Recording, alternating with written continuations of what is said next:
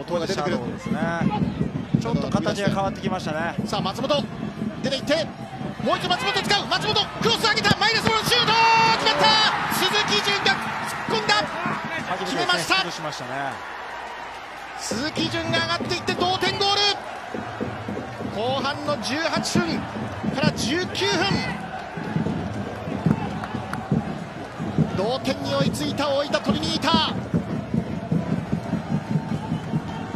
が流れてそして松本がえぐっていきました。三井田もいい落としでしたね。